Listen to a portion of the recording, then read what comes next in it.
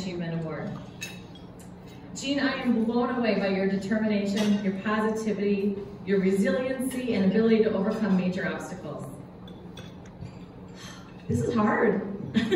Over the past month, I've been reading your book, so I feel like we have this connection.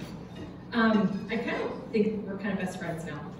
Um, I just want to say I'm sorry we didn't uh, serve the fancy pants pancakes tonight. And I'm sorry I'm not as good looking or charming as Johnny Depp.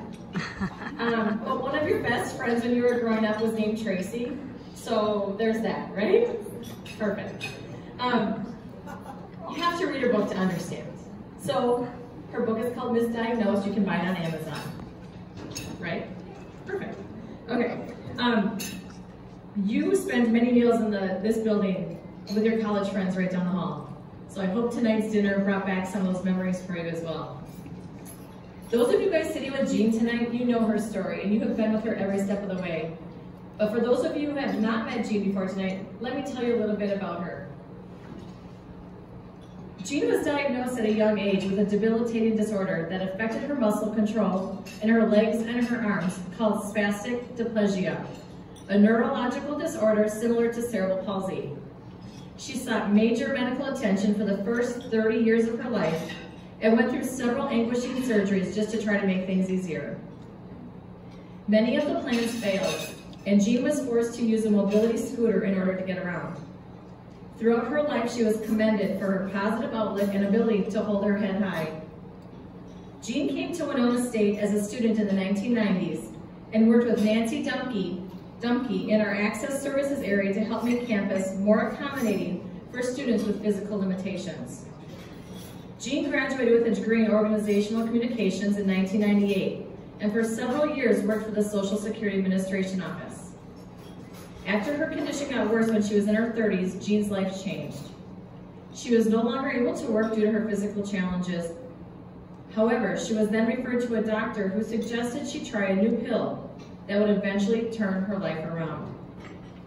Jean's faith led her to this treatment, and on Good Friday of 2010, Jean's life changed dramatically for the better. She learned that day she had been misdiagnosed all those years. Jean has since been diagnosed with DRD, dopa responsive dystonia, which is a neurological disorder that responds extremely well to a drug that increases levels of the neurotransmitter dopamine. Through all her struggles, life still happened, and she persevered as all warriors do. Jean became the mother to three beautiful children who are with us today, Winona, Sharon, and John. She has authored the book Misdiagnosed, My 30-Year Struggle with a Debilitating Disorder I Never Had. She has been interviewed on the Today Show, Fox News, and has appeared in Good Housekeeping. Jean is now a public speaker and blogger who presents to students about the impacts of kindness, bullying, and resilience. She uses her experiences to motivate and inspire others as she presents to school-age children, church groups, corporate personnel, and current students at Winona State. Currently, Jean serves as the Dean of the Speaker Academy for the National Speakers Association. She credits her professors in the Mass Communications Department for giving her the tools and the confidence to overcome her fear of public speaking. Jean mentioned that she truly felt that Winona State was her home and the students, faculty, and staff were her family. I know you've already said this many times in your book, but you may have been the rainy day friend, but you have now become the everyday friend to so many. Your family is your rock, and it is evident by the sight of them surrounding you today. Your alma mater is proud of you and, and all that you have accomplished.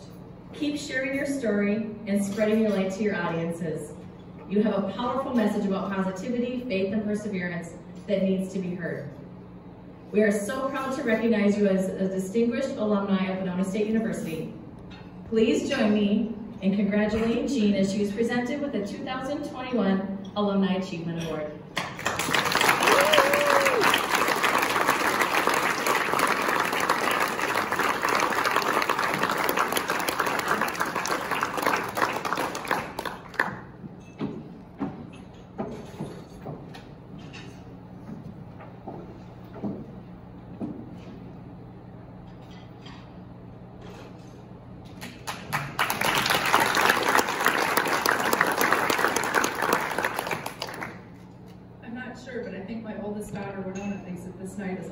Hers. So she was up on a hill.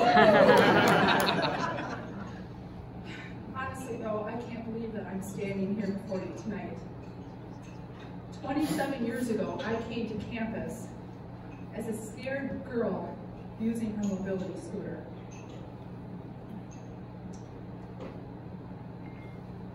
And I honestly wasn't sure if being able to attend college was something that I would be able to do. Because when I met with my high school guidance counselor and I told her that my plan was to go to Winona State University, she looked at me in her office and said, don't go because you will never make it because of my physical limitations. Luckily, I am an extremely stubborn person. and and uh, I had an amazing support system to help me get through it. Mom and Dad, it's because of you that I am the strong, positive, courageous, optimistic woman I am today. And I am beyond grateful that you encouraged me to understand that my physical limitations were going to be hard, but that I could do anything in my life. Anything. I might just have to do it a little bit differently. I'm grateful that you always put God first in our family, and that we understood that God had a plan for each and every one of us. But I never expected that his plan would lead me to this that I would be able to stand in front of you easily, that I'd be able to share my story with people all over the world and change their lives. So I thank you, Mom and Dad, for that.